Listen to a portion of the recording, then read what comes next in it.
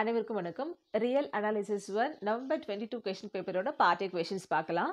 If f is from R to R is a function defined by f of x equal to mod x then find f inverse of A where A equal to one two three இதுவும் பார்த்தீங்கன்னா நம்ம April twenty த்ரீலையும் அங்கே F inverse பற்றி ஒரு question கேட்டிருந்தாங்க. இதுலையும் கேட்டிருக்காங்க. அப்போ இங்கே டொமைன் இருக்கும் கோ டொமைன் இருக்கும் டொமைன்லேருந்து கோ டொமைனுக்கு போகும்போது இது எஃப் இங்கிருந்து இப்படி வரும்போது எஃப் இன்வர்ஸ் ஓகே அப்போ எஃப் இன்வர்ஸ்ன்றது வந்து டொமைனில் இருக்கிற செட்ஸ் ஓகேவா டொமைனில் இருக்கிற set of elements f inverse of ஏனா ஏக்கு என்னென்ன எலமெண்ட் நம்ம போ ரீப்ளேஸ் பண்ணணும்னு பார்க்கணும்? ஏ வந்து ஒன்று இப்போ எஃப் ஆஃப் ஒன் போட்டிங்கன்னா என்ன வரும் உங்களுக்கு? மாட் ஒன் வரும். எஃப் ஆஃப் மைனஸ் ஒன்று போட்டாலும் மாட் ஒன் வரும். Modulus of minus one is plus one அப்போ f of two f of minus two ரெண்டுத்துக்கும் டூன்னு வரும். F of three f of minus three ரெண்டுத்துக்கும் த்ரீ வரும். அப்போ இங்கே எஃப் இன்வர்ஸ் ஆஃப் ஒன்றுனா it may be plus one or minus one அதே போல் எஃப் இன்வர்ஸ் ஆஃப் டூனா it may be plus two or minus two f inverse of த்ரீனா it maybe plus three minus three அப்போ f inverse of ஏன்றது நமக்கு என்னவாக இருக்கும்? One minus one two minus two three minus three okay so inverse ஃபங்க்ஷனில் ஒரு two mark question கேட்டுறாங்க. இந்த ரெண்டு வருஷம் கொஷின் பேப்பரில் பார்க்கும்போது. அடுத்து டிஃபைன் ஒன் ஒன் ஃபங்க்ஷன் இல்லை ஒன் டு ஒன் ஃபங்க்ஷன் அப்போது ஒன் ஒன் ஃபங்க்ஷன் சொல்லும்போது ஒரு ஃபங்க்ஷனை ரெண்டு செட்டுக்கு இடையில நம்ம டிஃபைன் பண்ணுறோம் ஏலேருந்து பிக்கு அது எப்போ நம்ம ஒன் ஒன் அப்படின்னு சொல்லுவோம்னா if f of A one equal to f of A two implies A one equal to A two அதாவது இமேஜஸ் ஈக்குவலாக இருக்குதுன்னா implies corresponding elements are equal for every A one A two belong to A டொமைனில் இருக்கிறது. Okay so இதுதான் நம்ம one one function நம்ம சொல்கிறோம் அடுத்து கவுண்டபிலிட்டி பேஸ் பண்ண ஒரு கொஷின் கேட்டிருக்காங்க. Test the countability of a set minus four minus two zero two etcetera okay இப்போ இந்த minus four minus two even இன்டீஜர்ஸாக இருக்குது பாருங்க. ஓகேவா இப்போ நமக்கு என்னென்ன தெரியும்? செட் ஆஃப் ஆல் இன்டீஜர்ஸ் இருக்கு இல்லையா? இசட்ன்றது minus two minus one zero one two three etcetera அது வந்து கவுண்டபிள் நமக்கு தெரியும். ஓகே இது வந்து நான் ஈவன் செட் இ நான் எடுத்துக்கிறேன்னு வச்சுக்கோங்களேன். இந்த இசட்டுக்கும் ஈக்கும் ஒன் டு ஒன் கரஸ்பாண்டன்ஸ் இருக்குது கரெக்டாக இசட்டை பற்றி நமக்கு ஏற்கனவே என்ன தெரியும்? இசட் வந்து கவுண்டபிள் செட்டுன்னு தெரியும். இது ரெண்டுத்துக்கு நடுவில் ஈக்குவலண்ட் ரிலேஷன் இருக்குன்னு தெரியும். ஸோ அதனால் E e, Z uh, e, வந்து கவுண்டபிளாக இருக்கிறதுனால E is also countable okay அப்போ செட் ஆஃப் ஆல் இன்டிஜர்ஸ் கவுண்டபிள்னு சொல்லும்போது set of all even integers also countable integers சொல்லும்போது ப்ளஸ்ஸும் இருக்கும் மைனஸும் இருக்கும் ஜீரோவும் இருக்கும். Okay define non decreasing sequence இந்த நான் டிக்ரீசிங் சீக்வன்ஸ் படிக்கும்போது நீங்கள் நான் இன்க்ரீஸிங் சீக்வன்ஸும் படிச்சுக்கோங்க. ஒன்று படிச்சிட்டிங்கன்னா அதுக்கு ஆப்போசிட்டே இன்னொன்று நீங்கள் ஞாபகம் வச்சுக்கலாம். ஸோ நான் டிக்ரீஸிங் சீக்வன்ஸ் அப்போ முதல்ல சீக்வன்ஸ்னால் என்னென்ன சீக்வன்ஸ் எதில் இருக்குன்னு நம்ம சொல்லிடணும். Let S N N equal to one to infinity be S sequence of real numbers okay இப்போ இதில் வந்து ஒவ்வொரு எலமெண்ட்டும் போக போக லெஸ் தென் ஆர் ஈக்குவல்டாக போயிட்டே இருக்குன்னு அர்த்தம். இதில் இருக்கிற சீக்வன்ஸ் இருக்க ஃபஸ்ட் எலமெண்ட் எஸ் ஒன் அடுத்து இருக்கிறது எஸ் டூ அதை எடுத்து கம்பேர் பண்ணுறோம் அப்போ S one less than or equal to S two S two less than or equal to S three etcetera இப்போ ஜென்ரலாக எழுதும்போது S N less than or equal to S N plus one okay so இதுதான் உங்களுக்கு நான் decreasing sequence இதுவே நான் increasing sequence வந்து greater than or equal to வரும். அவ்வளோதான் ஓகே லிமிட் ஃபைண்ட் அதே போல் லிமிட்டும் கேட்டிருக்காங்க பாருங்கள் இந்த இடத்துல ஒரு லிமிட் யூஸ் பண்ண ஒரு கொஷின் ஏப்ரல் டுவெண்ட்டி த்ரீலையும் கேட்டிருந்தாங்க. Find limit N tends to infinity N minus one by N நம்ம எடுத்த உடனே இன்ஃபினிட்டின்ற லிமிட் டேரெக்டாக அப்ளை பண்ணக்கூடாது. ஏன்னா இன்ஃபினிட்டில இருந்து இன்ஃபினிட்டிலேருந்து எதை கழிச்சாலும் இன்ஃபினிட்டி தான் வரும். இன்ஃபினிட்டி பை இன்ஃபினிட்டின்றது வந்து இன்டிட்டர்மினன்ட் ஃபார்மேட் ஓகே ஸோ அப்போ அது பண்ணுறதுக்கு முன்னாடி நம்ம என்ன பண்ணணும்? நியூமினேட்டில் இந்த காமன் லீஸ்ட் பவர் ஆஃப் எண்ணெய் நான் வெளியே எடுக்கிறேன். என் தான் இருக்குது என்ன வெளியே எடுத்துட்டா ஒன் மைனஸ் ஒன் பை எண்ணெய் இருக்கும். கீழே இருக்கிற எண்ணையும் மேலே இருக்கிற எண்ணும் ப்ராடக்ட்டில் இருக்கிறதுனால கேன்சல் பண்ணிடுறோம்.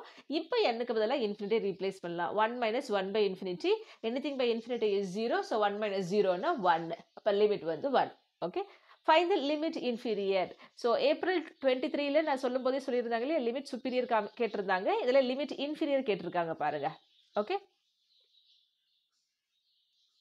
ஸோ இங்கே சீக்வன்ஸ் பற்றி சொல்கிறோம் let S N N equal to one to infinity is a sequence of real numbers that is bounded below அங்கே லிமிட் சுப்பீரியர்லேருந்து பவுண்டட் அபவாக இருக்கணும். இங்கே பவுண்டட் பிலோவாக இருக்கணும்.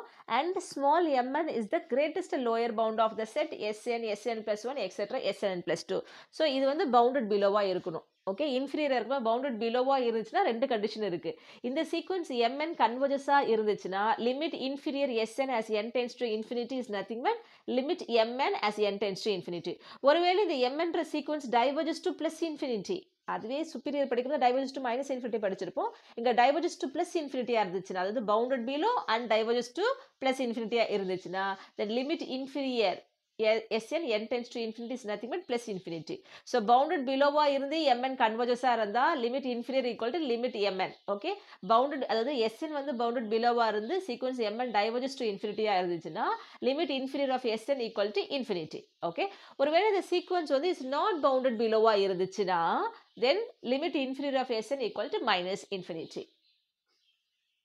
So April twenty த்ரீல அந்த கொஷின் பேப்பரில் லிமிட் சுப்பீரியர் பார்த்தோம் இல்லையா? இதில் லிமிட் இன்ஃபீரியர் பார்த்தோம். இப்போ லிமிட் சுப்பீரியர் பேஸ் பண்ண ஒரு டூ மார்க் கொஷின் ஒரு ப்ராப்ளம் இருக்குது பாருங்க. Find the limit superior of the sequence one two three one two three one two three etcetera அப்போ சீக்வன்ஸ் எஸ்ன்றது வந்து சுப்பீரியர் சொல்லும்போது பவுண்டட் அபவா இல்லையான்னு நம்ம செக் பண்ணணும். இப்போ ஒன் டூ த்ரீ மேக்ஸிமம் பெருசிக்கு வந்து த்ரீ தான். அப்போ இந்த செட் வந்து எல்லா இதில் இருக்க எல்லா எலிமெண்ட்டும் லெஸ் தென் ஆர் ஈக்குவல் த்ரீயாக இருக்குது அப்போ சீக்வன்ஸ் எஸ்என் வந்து பவுண்டட் அபோ கேபிட்டல் எம்ன்றதை நம்ம என்ன சொல்லுவோம்? Least upper bound of the sequence S N S N plus one etcetera இப்போ என் வந்து நமக்கு என்னன்னு தெரியாது. அது ஈவனா ஆடா மல்டிபிள் ஆஃப் த்ரீயா இருக்கான்னு தெரியாது. அப்போ இந்த மாதிரி லீஸ்ட் அப்பர் பவுண்ட் ஆஃப் சொல்லும்போது நமக்கு இந்த லீஸ்ட் அப்பர் பவுண்ட் ஆஃப் என்னென்ன பாசிபிலிட்டிஸ் இருக்கு? மேபி ஒன் டூ த்ரீன்னு இருக்க. என்த் டேர்ம் ஒன்று இருந்தால் one two three one two three etcetera அந்த மாதிரி போயிட்டே இருக்கும்.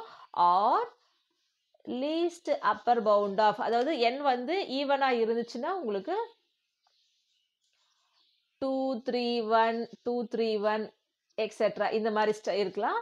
Or least upper bound of என்னவா இருக்கலாம்?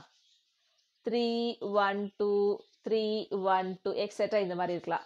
இந்த மூணு கேஸில் எது வேணாலும் இருக்கலாம். எது இருந்தாலும் இதுதான் கேபிட்டல் எம்ஏ நம்ம சொல்கிறோன்னா இதில் உங்களுக்கு அப்பர் பவுண்ட் எது த்ரீ தான். இது லீஸ்ட் அப்பர் பவுண்டு த்ரீ தான் உங்களுக்கு. கரெக்டாக அப்போ ஆஸ் அப்போ இப்போ எம்என் வந்து லீஸ்ட் அப்பர் பவுண்ட் த்ரீன்னு நம்ம சொல்கிறோம் அப்படின்னா எம்என் வந்து converges sequence m n converges அப்போ சீக்வன்ஸ் எஸ்என் பவுண்டட் அபவாக இருந்துச்சுன்னா அது எது பவுண்டட் அபவாக இருக்கோ அதே சேம் நம்பர் தான் கன்வர்ஜஸ்க்கு வந்துடும் உங்களுக்கு. ஸோ அதனால் limit superior SN as N tends to infinity is nothing but limit superior MN as N tends to infinity which is three ஏன்னா sequence bounded above by three இருக்கிறதுனால limit superior equal to three okay so அதே போல் April twenty த்ரீல பார்த்தீங்கன்னா conditionally converges கேட்டிருந்தாங்க. இதில் absolutely converges கேட்டிருக்காங்க. இதில் நீங்கள் எப்பவுமே பேராக படித்து வச்சுக்கணும்.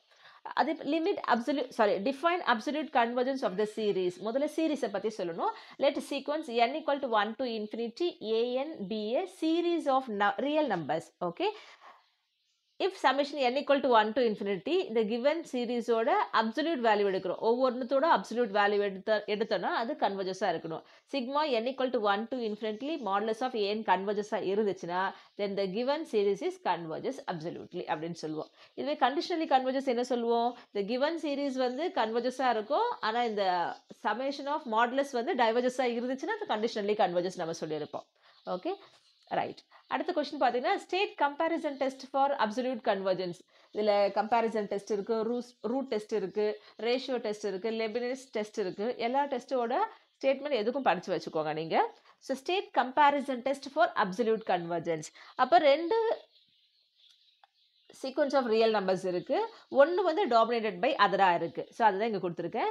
If summation N equal to one to infinity AN is dominated by summation N equal to one to infinity BN AN வந்து டாமினேட்டட் பை பிஎன் இந்த செகண்ட் சீரீஸ் இருக்கு இல்லையா? அது கன்வர்ஜஸ் அப்சல்யூட்லியாக இருக்கணும்.